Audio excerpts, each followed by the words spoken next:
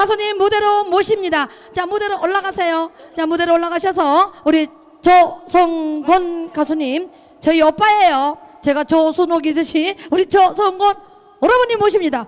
훨훨 들려드립니다.